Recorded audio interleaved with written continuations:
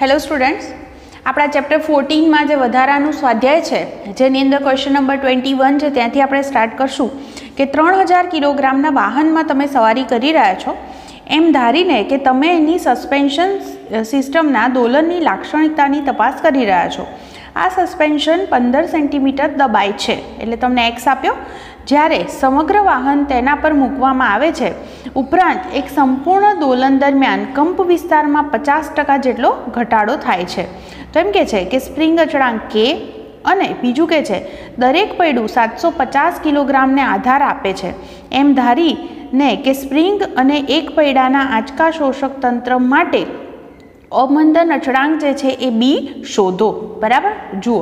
અહીંયા આગળ તમને જે કીધું છે એ પ્રમાણે અહીંયા આપણે એવું વિચારી શકીએ કે દરેક પૈડા દીઠ આપણે વાત કરવી હોય તો એક સ્પ્રિંગની વાત કરીએ તો ટોટલ જે છે એ સ્પ્રિંગ અહીંયા ચાર થશે. તો ચાર જે સ્પ્રિંગ છે એ ચાર સ્પ્રિંગ તમે એકબીજા સાથે કઈ રીતે જોડાણ વિચારી શકો? સમાંતરમાં છે એમ કહી શકો? તો એનું જો પરિણામી હું કહું તો પરિણામી જે કે છે એ અચળાંક જે છે એ ફોર કે જેટલો થશે. ઓકે. હવે તમને એક વસ્તુ દળ આપ્યું છે, બીજું એક્સ આપ્યું છે. ચલો, એની મદદથી આપણે ગણીએ. તો પહેલાં હું લખી દઉં કે મને જે છે એ દળ એમ બરાબર આપે છે ત્રણ હજાર કિલોગ્રામ. બરાબર? આ જે છે એ વાહનનું દળ છે. સ્પ્રિંગ કેટલી દબાઈ છે આપ્યું છે? તો પંદર સેન્ટીમીટર, મતલબ કે પોઈન્ટ પંદર મીટર લખી શકો છો. નેક્સ્ટ મને શું કહે છે હવે? કે કંપ વિસ્તાર જે છે, એક દોલન દરમિયાન પચાસ ટકા જેટલો ઘટે છે. હે ને તો એ જે છે, એના માટેનો જે સમય છે, એ પણ મારે શોધવો છે. તો એની વાત હું પછી કરું. પણ પહેલાં જે છે, સ્પ્રિંગ અચળાંક કે શોધવાનો છે આપણને. તો પહેલાં જુઓ, અહીંયા આગળ જે છે, હું લખીશ કે અહીં ચાર સ્પ્રિંગ એકબીજા સાથે સમાંતરમાં ગણી શકાય. જેમનો પરિણામી જે હું કહું કે, તો પરિણામી કે બરાબર, કે પેરેલલ કહી શકાય, કેટલો થાય? તો ફોર કે થશે ટોટલ કે પ્લસ કે પ્લસ કે આ રીતે. આટલો પરિણામી કે છે. હવે હું વાત કરું કે આપણી પાસે જે સૂત્ર છે એફ બરાબર કે એક્સ હે ને? તો અહીંયા માઇનસ છે, પણ હું મૂલ્યની જો વાત કરું છું કે શોધવા માટે, તો અહીંયા આગળ ઋણ નિશાની આપણે અવગણીએ અને એફ બરાબર વજનને સમતોલ એટલે એફ બરાબર હું એમજી લખી શકું. તો એમજી બરાબર અહીંયા આગળ જે છે ટોટલ જે છે, એ ફોર કે છે, એટલે ફોર કે એક્સ લખીશ. તો આમાંથી હું કેને સૂત્રનો કરતાં કરું તો કેટલા થાય? તો એમજી અપોન કેટલા થશે? ફોર એક્સ કિંમતો મૂકી દઈએ. એમ બરાબર ત્રણ હજાર છે. જી આપણે દસ લઈ લઈએ છીએ ફોર અને એક્સ જે છે એ છે પોઈન્ટ વન ફાઇવ બરાબર? તો તમે અહીંયા આગળથી કે ગણશો? પંદર ચોક સાહીઠ બરાબર? અહીંયા આગળ ત્રીસ દુ સાહીઠ તમે ભાગ ચલાવી શકો છો. એટલે પાંચ ગુણ્યા દસની કંઈક ઘાત આવશે. અને એનો જે એકમ છે, એ એકમ શું થાય? તો ન્યૂટન પર મીટર. બરાબર? તો પહેલો જે છે તમને કે આ રીતે મળી જશે. ક્લિયર થયું આટલું? બરાબર? તો પાંચ ગુણ્યા દસની ચાર જવાબ તમારો આવશે. ક્લિયર ચલો. હવે એનો જો આવર્તકાળ શોધવો હોય, જુઓ, હું અહીંયા આગળ પહેલો જે કે શોધવાનો છે, તો અને એ પ્રશ્ન એ કહી દઉં છું, બીજી વસ્તુ જે છે, મારે અચળાંક બી શોધવાનો છે, બરાબર? હું પહેલાં આવર્તકાળ શોધવા માંગુ છું. તો આવર્તકાળ જો મારે શોધવો હોય, તો મને કીધું છે કે અહીંયા આગળ જે છે, દરેક સ્પ્રિંગ છે, એ સાતસો પચાસ કિલોગ્રામ દળને જે છે, એ ઉચકે છે. એક્ઝેક્ટલી આપણે વાક્ય જોઈ લઈએ, શું લખે છે? હા, દરેક પૈડું સાતસો પચાસ કિલોગ્રામને આધાર આપે છે. તો લખી દઉં કે દરેક પૈડું સાતસો પચાસ કિલોગ્રામને આધાર આપે છે. એટલે આપણે જો એના દોલનના આવર્તકાળની વાત કરીએ તો ટી બરાબર શું સૂત્ર છે? Two pi under root m upon k. આની અંદર હું કિંમતો મૂકી દઉં. પાઈ એટલે three point one four. M છે સાતસો ને પચાસ અને કે પણ આપણે શોધી ચૂક્યા છે પાંચ ગુણ્યા દસની ચાર. ગણતરી કરશો તો એપ્રોક્સિમેટલી તમારો answer point seven seven second જેવો આવશે. હવે જે છે, તમને જે કીધું છે એ પ્રમાણે કે જે કંપ વિસ્તાર છે એ અડધો થાય છે. એટલે કે આપણે કહીએ કે હવે આપણું જે સમીકરણ છે, કે હું એને આવું લખું કે એક્સ બરાબર જે મૂળ છે એક્સ ઝીરો વડે દર્શાવું છું, અથવા આપણે એને કેપિટલ એ લખીએ છીએ ગમે તે લખી શકાય x zero e raise to minus b t upon two એમમાં જ્યારે એક્સ કેટલો થાય છે? એક્સ ઝીરો બાય ટુ પચાસ ટકા થવો, મતલબ કે અડધો થવો.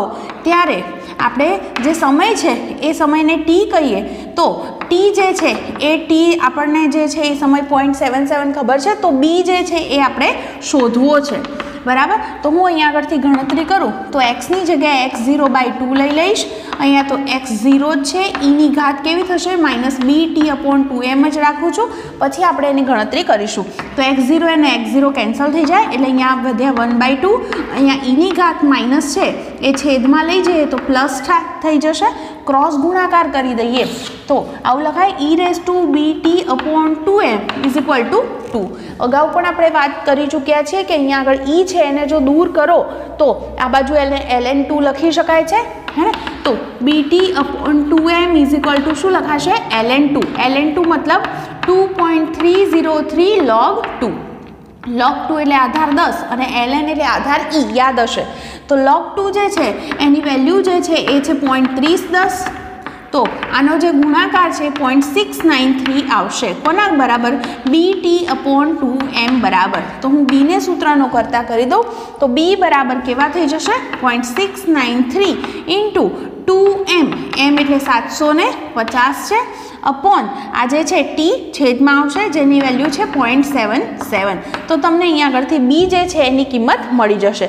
એકમ બનાવવો હોય તો દળનો એકમ કિલોગ્રામ અને સમયનો સેકન્ડ એટલે એનો એકમ થશે કિલોગ્રામ પર સેકન્ડ શું કિંમત છે બીની આવે છે?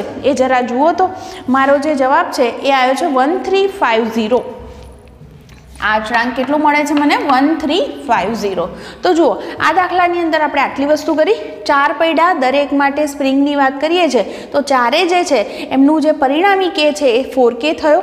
એટલે આપણી પાસે જે સૂત્ર હતું, કે એફ બરાબર કે એક્સ માઇનસ કે એક્સ છે, પુનઃસ્થાપક બળ માટે.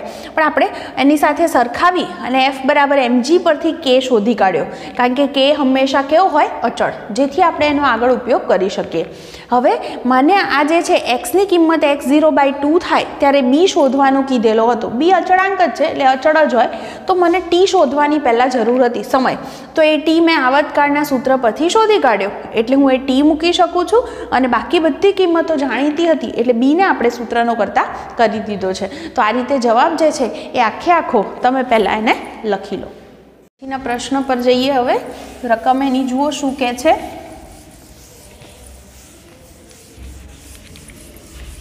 જુઓ. આપણને જે છે એ રકમ કંઈક એવી આપી છે સમજો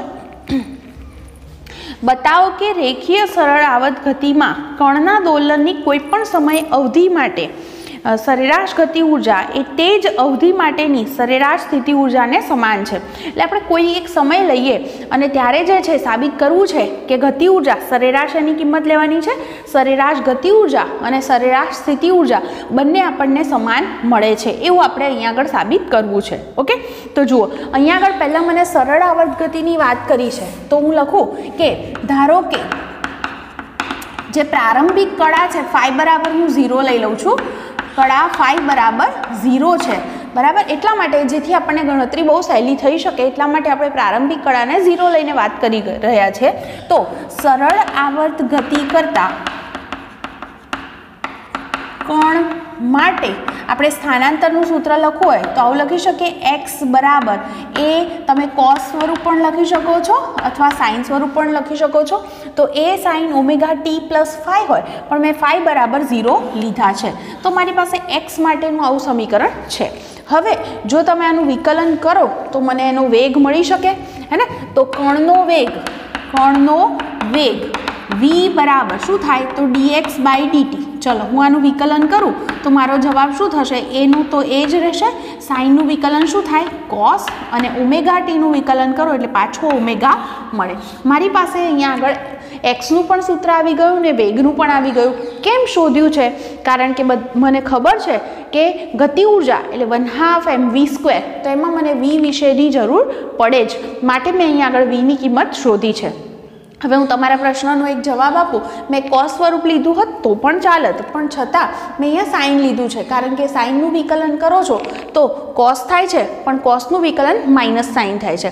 જો કે જ્યારે વેગ લઈએ છીએ ત્યારે સ્ક્વેર કરીએ, ત્યારે માઇનસનો સ્ક્વેર પ્લસ થઈ જાય, એટલે બહુ ફરક પડવાનો નથી. છતાં પણ આપણે અહીંયા આગળ ગણતરીમાં આ રીતે સૂત્ર લીધેલું છે. ઓકે? ચલો, હવે હું જો વાત કરું કે માટે ગતિ ઊર્જા તો ગતિ ઊર્જા કે બરાબર સૂત્ર શું છે? One half M V square એટલે હું અહીંયા આગળથી one half M V square એટલે આનો સ્ક્વેર કરીશ તો કેટલો થશે? A square omega square cos square omega T પણ મને શોધવાનું કીધું છે આનું સરેરાશ મૂલ્ય.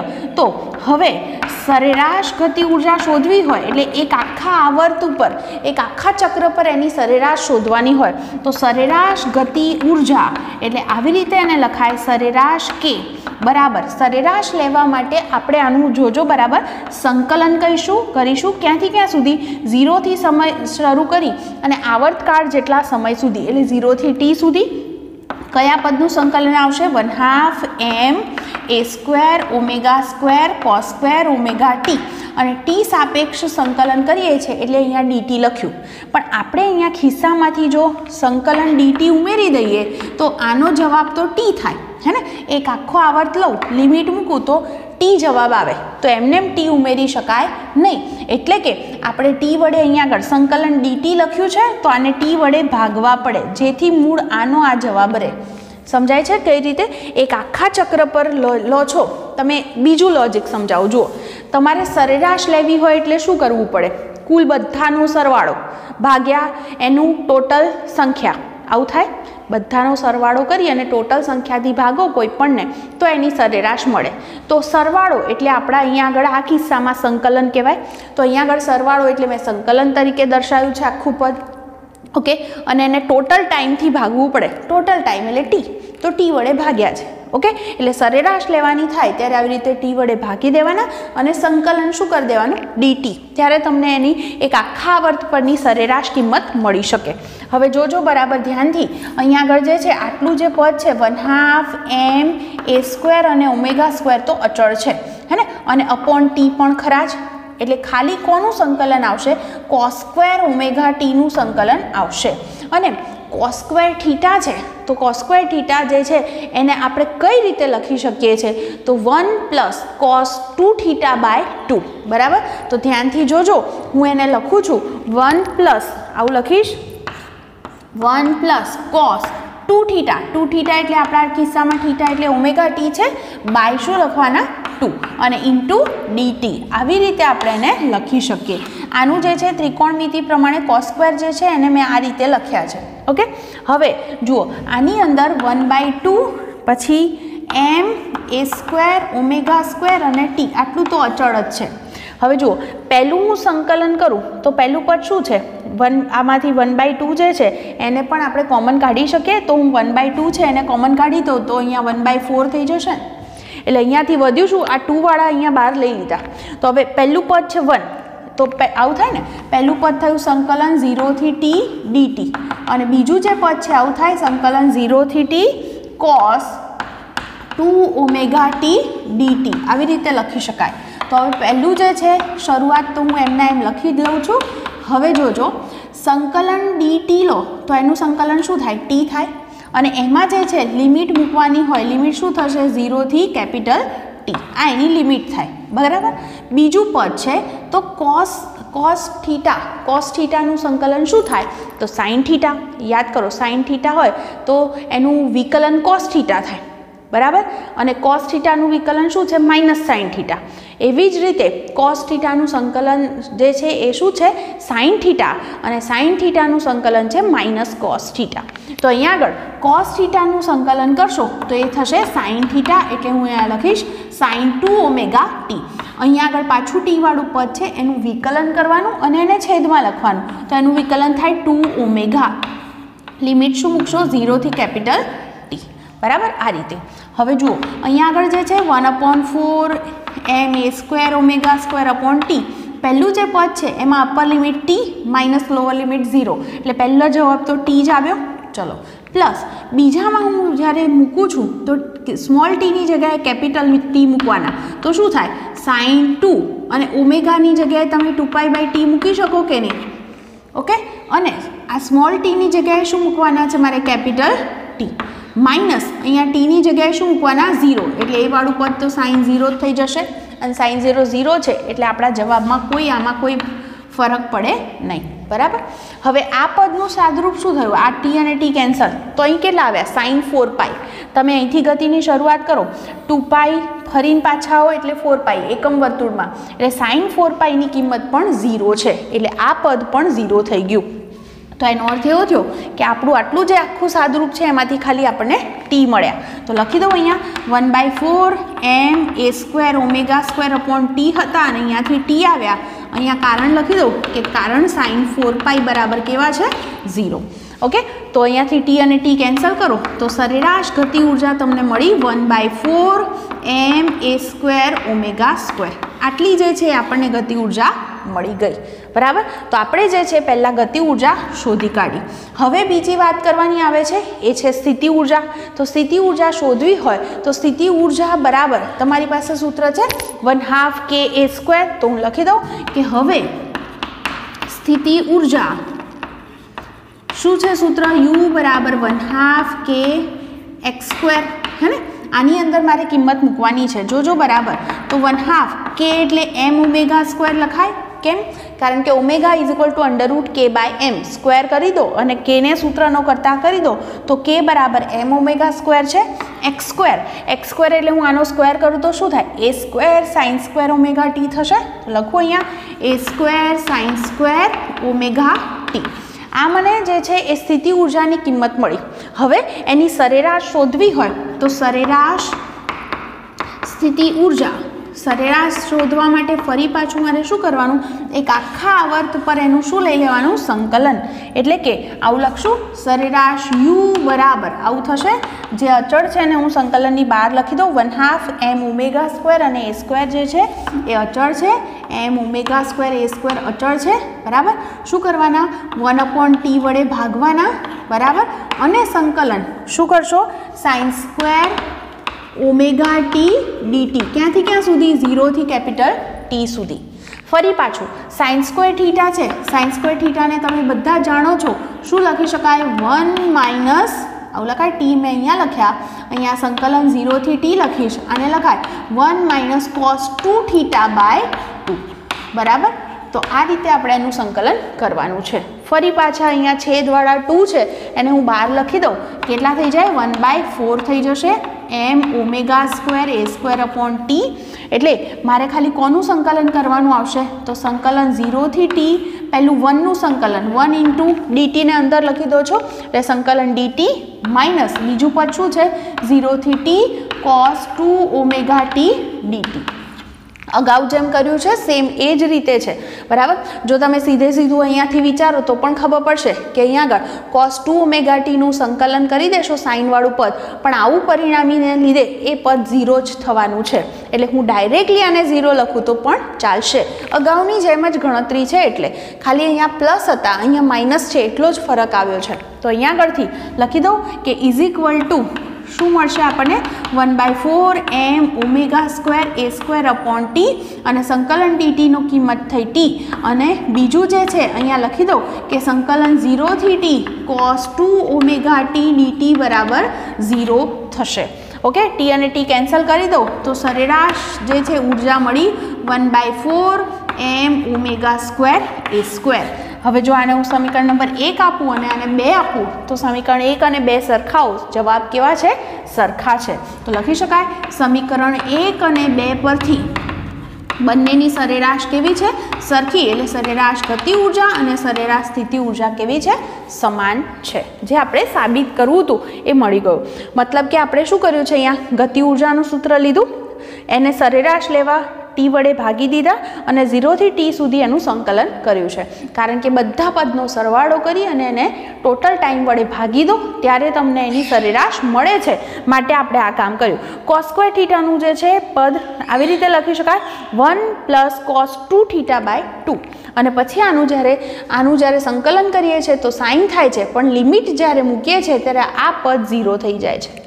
સેમ વસ્તુ જે છે એ સ્થિતિ ઉર્જાના સૂત્રમાં પણ એ જ વસ્તુ થઈ. એમાં sines square થીટાને one minus cos two theta by two લખ્યા અને એમાં પણ આ પદ જે છે અગાઉની જેમ જ સેમ છે, એટલે એ પણ ઝીરો થઈ જાય છે. એટલે બંને જે ઉર્જાઓ છે આપણને સમાન મળે છે. તો આ રીતે તમે એને લખી શકો છો. આખો દાખલો ક્લિયરલી દેખાય, એ માટે હું સહેજ ખસેડી દઉં. બરાબર? ચૌદ પોઈન્ટ ત્રેવીસ. દસ કિલોગ્રામ દ્રવ્યમાનની એક વર્તુળાકાર તકતી તેના કેન્દ્રથી જોડેલ તાર દ્વારા લટકાવવામાં આવેલ છે. આ તકતીને ઘુમાવીને તારમાં વળ ચડાવી તેને મુક્ત કરવામાં આવે છે. આ વળ દોલનનો આવર્તકાળ એક પોઈન્ટ પાંચ સેકન્ડ છે. જુઓ, આપણને અહીંયા જે દોલક આપ્યું ને, એ જ કયો છે? વળ વળ દોલક છે. બરાબર? સાદું લોલક જે કહેતા હોય એ નથી. બરાબર? હવે કે છે, આ તકતીની ત્રિજ્યા પંદર સેન્ટીમીટર છે. આ તારનો ટોર્શનલ એટલે કે વળ સ્પ્રિંગ અચળાંક નક્કી કરો, જેને આપણે આલ્ફાથી દર્શાવીશું. જે સંબંધ જે બરાબર માઇનસ આલ્ફા થીટા દ્વારા વ્યાખ્યાયિત છે. જ્યાં જે છે એ પુનઃસ્થાપક બળ અને થીટા છે એ વળ યુગ સોરી વળ કોણ છે? બરાબર? અહીંયા આગળ લખીશું કે વળ દોલક છે. બરાબર? તો વળ દોલકનો યાદ રાખજો. આવર્તકાળ જે છે એ આ સૂત્રથી અપાય છે. ટી બરાબર two pi under root I upon alpha. જ્યાં આઈ બરાબર છે જડત્વની ચાક માત્રા. બરાબર? જે તકતી માટે કેટલી હોય છે? તકતી માટે આઈ બરાબર કેટલા હોય છે? તો one half M R square. બરાબર? અને જે આલ્ફા છે, એ આલ્ફા આપણને આ કિસ્સામાં શું કીધો છે? વળ અચળાંક. બરાબર? જે આપણે શોધવો છે. ઓકે? નોર્મલી આલ્ફા જે છે, આપણે કોણીય પ્રવેગ લખતા હતા, પણ આ કિસ્સાની અંદર આલ્ફા જે છે, એ વળ અચળાંક છે. તો હવે મારે આ સૂત્રની મદદથી માત્ર જે છે આલ્ફાને સૂત્રનો કરતાં કરવાનો છે. તો હું વર્ગ કરી દઉં, તો શું થાય? ટી સ્ક્વેર બરાબર ફોર પાઈ સ્ક્વેર પછી આઈ અપોન આલ્ફા થશે. આઈ બરાબર તમે કેટલા મૂકી શકો છો? One half M R square મૂકી શકો છો. તો આમાંથી જો હું આલ્ફાને સૂત્રનો કરતાં કરી દઉં, તો આલ્ફા બરાબર કેવા થશે? આલ્ફા અહીંયા જશે. બેથી અહીંયા ભાગ ચાલે એટલે two pi square M R square upon કેવા થઈ જશે? T square. કિંમતો બધી જ છે તમારી પાસે. Three point one four. બરાબર? પછી એમ જે છે એ દળ કેટલું આપ્યું છે આપણને? દસ કિલોગ્રામ. તો એમની કિંમત દસ થશે ત્રિજ્યા પંદર સેન્ટીમીટર હતી. સેન્ટીમીટરને મીટરમાં ફેરવો એટલે પોઈન્ટ પંદર થઈ જશે અને આવર્તકાળ જે છે એ વન પોઈન્ટ ફાઇવ સેકન્ડ થશે. બરાબર? તો અહીંયા આગળ હું જો ગણતરી કરું, તો મારો જવાબ લગભગ one point nine seven newton metre પર રેડિયન આવશે. વળ અચળાંકનો એકમ છે ન્યૂટન મીટર પર રેડિયન. બરાબર? તો અહીંયા આગળથી એપ્રોક્સિમેટલી તમે એને two newton metre per radian પણ લખી શકો છો. ઓકે? તો સિમ્પલ જ છે. માત્ર તમારે આ સૂત્ર સમજવાનું હતું તો તમે એની મદદથી તમારો જવાબ લખી શકશો. તો આપણો ટ્વેન્ટી થ્રી નંબરનો ક્વેશ્ચન હતો. હવે નેક્સ્ટ પર જઈએ ટ્વેન્ટી ફોર ચલો, હવે એમાં શું કહે છે? એક પદાર્થ પાંચ સેન્ટીમીટરના કંપ વિસ્તાર અને બે પોઈન્ટ બે સેકન્ડના આવર્તકાળ સાથે સરળ આવત ગતિ કરે છે. જ્યારે સ્થાનાંતર પાંચ સેન્ટીમીટર ત્રણ સેન્ટીમીટર અને ઝીરો સેન્ટીમીટર હોય તો પદાર્થના પ્રવેગ અને વેગ શોધો. અહીંયા કંઈ નથી કરવાનું. વેગ અને પ્રવેગના આપણે જે સૂત્રો જાણીએ છીએ, એનો ઉપયોગ કરવાનો છે અને એની મદદથી આપણે જવાબ શોધવાનો છે. હવે પ્રવેગનું સૂત્ર આપણે લખીએ, માઇનસ ઓમેગા સ્ક્વેર એક્સ. તો ઓમેગા ખબર હોવો જોઈએ, હે ને? અથવા વેગનું સૂત્ર લખીએ છીએ, તો એમાં પણ ઓમેગાની જરૂર પડે છે. તો પહેલું કામ હું આટલું કરીશ કે મને જે કિંમત આપી છે, એ પ્રમાણે કંપ વિસ્તાર એ બરાબર પાંચ સેન્ટીમીટર છે. પછી આવર્તકાળ છે પોઈન્ટ ટુ સેકન્ડ તો હવે જો હું ઓમેગા શોધું, તો ઓમેગા એટલે ટુ પાઈ બાય ટી થાય ટુ પાઈ અપોન ટી છે ઝીરો પોઈન્ટ ટુ એટલે ટુ અને ટુ કેન્સલ થશે. એટલે તમારો જવાબ શું આવે? ટેન પાઈ હે ને અને એનું એકમ શું? તો રેડિયન પર સેકન્ડ. આટલી વસ્તુ મારી પાસે આવી ગઈ. હવે જો આપણે સૂત્રની વાત કરવી હોય, તો આપણે કયા કયા સૂત્રની જરૂર પડશે? એક છે કંપ વિસ્તાર અને બીજી વસ્તુ સોરી એક પ્રવેગ શોધવો છે અને બીજો શું શોધવો છે? વેગ. તો બંનેના સૂત્રો તમે જાણો જ છો કે જો સ્થાનાંતર એક્સ હોય, જો સ્થાનાંતર એક્સ હોય, તો પ્રવેગ જે છે, એ પ્રવેગ એ બરાબર શું લખતા હતા? માઇનસ ઓમેગા સ્ક્વેર એક્સ લખતા હતા. અને જે વેગ છે, એ વેગનું જે સૂત્ર છે, એ શું હતું? A into under root omega square minus X square તો આનો આપણે ઉપયોગ કરીશું. તો અહીંયા આગળ જુઓ, પહેલો જે કિસ્સો છે, એમાં તમને જે છે, કિંમત કઈ લેવાની કીધી છે? યસ પહેલું જે છે એ તમને પાંચ સેન્ટીમીટર કિંમત આપેલી છે. ચલો, તો હવે લખું કે એક્સ બરાબર પાંચ સેન્ટીમીટર માટે. ગણતરી કરું, તો પહેલો જે છે એ પ્રવેગ હું શોધું, અથવા તો પહેલાં વેગ શોધું. ચલો, વેગ વી બરાબર, શું સૂત્ર લખશું? A under root omega square minus X square માત્ર કિંમતો જ મૂકવાની છે. આ છે પાંચ સેન્ટીમીટર, તો પાંચ લખશું. અંડરરૂટ અહીંયા શું છે? ટેન પાઈ એનો square minus X square. X એટલે પાછા કેટલા છે? પાંચ. તો એનો સ્ક્વેર કરી દઈએ. બરાબર? તો અહીંયા આગળ જે છે, તમે આ સેન્ટીમીટરમાં રાખશો, તો સેન્ટીમીટર પર સેકન્ડમાં તમારો જવાબ આવશે. કરો ને ગણતરી કેટલો જવાબ આવે છે? મીટર પર સેકન્ડમાં પણ ફેરવી શક્યા હોત આપણે. ઓકે, ચલો. અહીંયા આગળ જે છે, આની ગણતરી કરો. ચલો, હું આને મીટર પર સેકન્ડમાં જ લખું. તો પોઈન્ટ ઝીરો પાંચ થાય ને? પોઈન્ટ ઝીરો પાંચ. અને આ પણ કેટલા થઈ જશે? પોઈન્ટ ઝીરો પાંચ. તો તમે આની ગણતરી કરો, તો પોઈન્ટ ઝીરો પાંચ છે. અહીંયા આગળ ટેન પાઈ ટેન પાઈ છે અને એનો પછી સ્ક્વેર કરશો, તો તમારો જે જવાબ છે એ પોઈન્ટ ઝીરો પાંચનો સ્ક્વેર જ આવશે. આનો જે ગુણાકાર કરશો માઇનસ પોઈન્ટ ઝીરો પાંચ. તો આપણો જે જવાબ છે શું મળ્યો? ઝીરો મીટર પર સેકન્ડ બરાબર? તો પહેલો જે છે એ વેગ મળી ગયો, બીજું શોધવો છે પ્રવેગ. એ બરાબર શું છે? Minus omega square X. તો માઇનસ ઓમેગા સ્ક્વેર એ ટેન પાઈનો સ્ક્વેર અને એક્સ જે છે એ પોઈન્ટ ઝીરો પાંચ મૂકવાના છે. એ તમારો જવાબ મીટર પર સેકન્ડ સ્ક્વેરમાં મળી જશે. ચલો, કેટલો મળે છે જવાબ? Yes, minus three pi square. એને પાઈમાં જ રહેવા દીધા છે. તો તમારો જવાબ આવે છે થ્રી પાઈ સ્ક્વેર. ઓકે? ચલો, તો આ રીતે આપણને જવાબ મળી જશે. હવે બીજું જે છે, એ સ્થાનાંતર જે છે, એ એક્સ કેટલું લેવાનું કીધું છે? બીજું એક્સ મને લેવાનું કે છે, ત્રણ સેન્ટીમીટર. કેટલો લેવો છે મારે? ત્રણ સેન્ટીમીટર. એ zero point zero three metre થશે.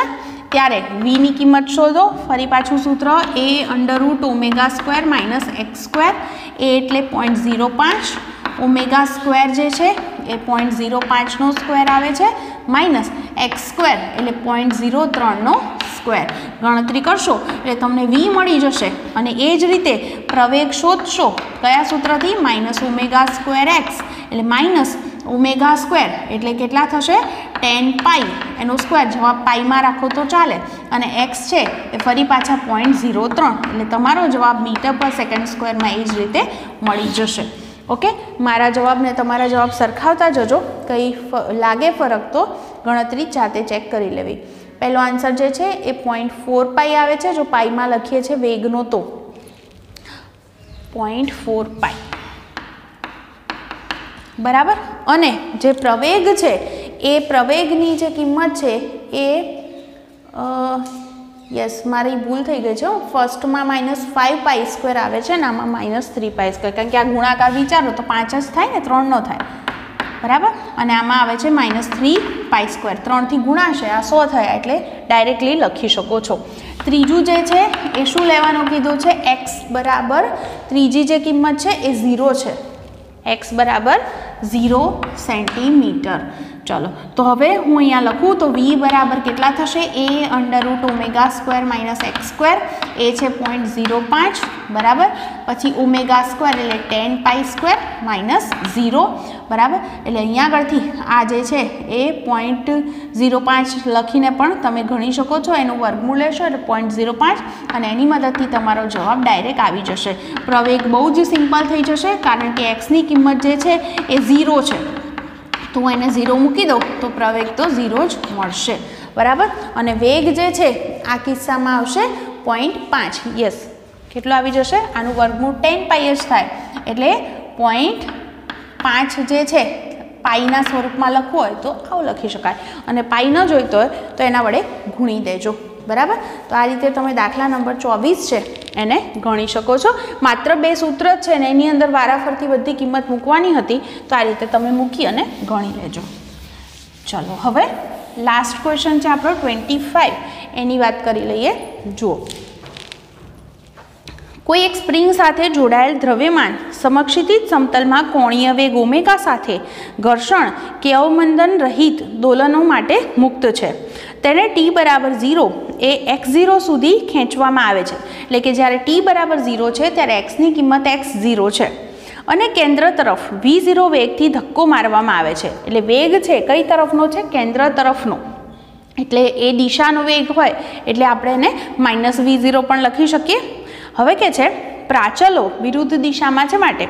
ઓમેગા, એક્સ ઝીરો અને વી ઝીરોના પદમાં પરિણામી દોલનનો કંપ વિસ્તાર શોધો. તમને કહે છે, સૂચન આપ્યું છે કે સમીકરણ એક્સ બરાબર A cos omega T plus theta સાથે શરૂઆત કરો અને નોંધ કરો કે પ્રારંભિક વેગ ઋણ છે. મેં તમને કીધું ને, વેગ કેવો લેવાનો કીધો છે? ટી બરાબર ઝીરો સમયે ઋણ લેવાનો કીધો છે. તો આપણને સમીકરણ કહે છે, એક્સ બરાબર કયું લેશો? A cos omega T plus theta. તમને જે કીધું છે એ પ્રમાણે તમારે શું શોધવો છે? કંપ વિસ્તાર. તો જો હું અહીંયા આગળ આટલું કામ કરું છું, અહીંયા આગળ પહેલાંનું વિકલન કરું, એટલે મને વેગ મળી જશે. તો સમીકરણનું વિકલન કરતા અહીંયા કંપ વિસ્તારને સ્મોલ એથી દર્શાવ્યો છે, બીજું કંઈ નથી અને થીટા છે એ પ્રારંભિક કળા છે. તો હું વિકલન કરું તો મને વેગ મળે ડીએક્સ બાય ડીટી બરાબર સ્મોલ એ એમના એમ. કોસ થીટાનું વિકલન શું થાય? Minus sine theta. એટલે minus sine omega T plus theta થઈ જશે. અને અહીંયા ઓમેગા ટી છે તો એનું વિકલન જે છે એ ઓમેગા થાય. અને થીટા જે છે એ પ્રારંભિક કળા છે, જે અચળ હોય, એટલે આપણે એનું વિકલન ઝીરો લઈશું. તો મને જે છે એ વેગ માટેનું આ એક સમીકરણ મળ્યું. હવે તમને જે કીધું છે અને હું સમીકરણ એક આપી દઉં અને આને બે. હવે મને એમ કીધું છે કે જ્યારે ટી બરાબર ઝીરો ત્યારે એક્સ બરાબર કેવા છે? એક્સ ઝીરો સમીકરણ એકમાં મૂકતા. શું રિઝલ્ટ મળે છે? જોઈએ આપણે. ચલો. તો આમાં મૂકું તો એક્સની કિંમત શું મૂકવાની? એક્સ ઝીરો મૂકવાની. એ તો એ જ છે કોસ અહીંયા આગળ શું મૂકવાના? ટી બરાબર ઝીરો મૂકો એટલે એ પદ ઝીરો થઈ ગયું. બરાબર? અને અહીંયા આગળ એટલે ઝીરો પ્લસ થીટા એટલે અહીંયા લખી શકાય એક્સ ઝીરો બરાબર એ કોસ થીટા આવું મને એક રિઝલ્ટ મળ્યું. આને પણ હું સમીકરણ નંબર ત્રણ આપી દઉં. હવે એ જ રીતે અને અહીંયા સમીકરણ બેની અંદર પણ જ્યારે ટી બરાબર ઝીરો મૂકીશું, ત્યારે વેગ શું હતો? માઇનસ વી ઝીરો તો લખું, તો ટી બરાબર ઝીરો ત્યારે પ્રારંભિક આપણને કીધો છે વેગ, ઋણ લેવાનો કીધો છે વી બરાબર માઇનસ વી ઝીરો ક્યાં મૂકશો? સમીકરણ બેમાં મૂકતા. શું થાય સમીકરણ બે? ચલો વીની કિંમત શું મૂકવાની? માઇનસ વી ઝીરો બરાબર. કેવા થશે અહીંયા? માઇનસ એ ઓમેઘા પછી સાઈન. અહીંયા શું થશે? ટીની જગ્યાએ ઝીરો મૂકવાના છે. એટલે ઝીરો પ્લસ થીટા. એટલે અહીંયા આવી ગયા sine theta. Minus minus cancel થાય. એટલે વી ઝીરો બરાબર કેવા થઈ જશે? A omega sine theta. Okay? અથવા તો અહીંયા આગળથી સમીકરણ નંબર શું આપી દઉં? ચાર. હવે જુઓ, મારે આનું સાદરૂપ આપવું છે. તો હું એક કામ કરું છું. અહીંયા આગળથી એને પણ છેદમાં લઈ જાઉં છું અને અહીંયાથી એ ઉમેગાને પણ છેદમાં લઈ જાઉં છું. તો આ સમીકરણ મારું શું થઈ જાય? આવું થાય. એક્સ ઝીરો અપોન એ બરાબર કોસ થીટા સમીકરણ નંબર આને ત્રણ આપું છું. ઓકે? અને અહીંયા આગળથી હું આનું સાદરૂપ લખું. તો શું થશે? V zero upon omega A omega બરાબર સાઇન થીટા એનું કારણ તમને હમણાં જ સમજાઈ જશે. કે હું એક કામ કરીશ કે સમીકરણ નંબર ત્રણ અને ચારનો પહેલાં વર્ગ કરી દઈશ અને વર્ગ કર્યા પછી હું એમનો શું કરી દઈશ? સરવાળો. ઓકે? તો અહીંયા આગળથી આવું કરી શકાય. સમીકરણ ત્રણ અને ચારનો વર્ગ કરી સરવાળો કરતા. તો સમીકરણ ત્રણ અને ચારનો વર્ગ કરી સરવાળો કરતા. ચલો, શું થાય સમીકરણ ત્રણનો વર્ગ શું થાય? આવું થાય X zero square upon A square. હે ને ડાબી બાજુ ડાબી બાજુ ઉમેરીશું. પ્લસ અહીંયાથી શું થાય? V zero square upon A square omega square. બરાબર. જમણી બાજુ શું થશે? Cos square theta plus sine square theta અને બધા જાણો છો cos square theta plus sine square theta કેવા છે? વન તો આની જગ્યાએ વન આવી જશે. અહીંયા આગળથી એક કામ કરી શકાય. One upon A square common કાઢી લઈએ, તો આવું વધે X zero square plus V zero square upon omega square A સ્ક્વેરને અહીંયા લઈ જાઉં તો એ સ્ક્વેર બરાબર આવું થયું. X zero square plus V zero square upon omega square તો હું જો એને સૂત્રનો કરતાં કરું, તો શું થશે? Under root x zero square plus v zero square by omega square. જે આપણને પરિણામી જે છે કંપ વિસ્તાર જે શોધવાનો કીધો હતો એ આપણને મળી ગયો. ઓકે? તો ખાલી કશું જ નથી કર્યું. આપણને આ બે માહિતી આપી હતી કે ટી બરાબર ઝીરો ત્યારે એક્સ બરાબર એક્સ ઝીરો. એટલે એક્સના સમીકરણમાં મૂક્યા અને ટી બરાબર ઝીરો ત્યારે વેગ માઇનસ વી ઝીરો હતા. તો એ મૂક્યા. એટલે બે સમીકરણ મળ્યા અને પછી એનો વર્ગ કરી અને સરવાળો જ કર્યો છે. તો આ રીતે આપણને કંપ વિસ્તાર મળી જાય છે. તો આપણું જે ચેપ્ટર છે, ચેપ્ટર ફોર્ટીન અહીંયા પૂરું થાય છે. દાખલા જે છે એ વારે ઘડીએ તમે ગણતા રહેજો, પ્રેક્ટિસ કરતા રહેજો. એટલે તમને બહુ સરસ રીતે આવડી જશે.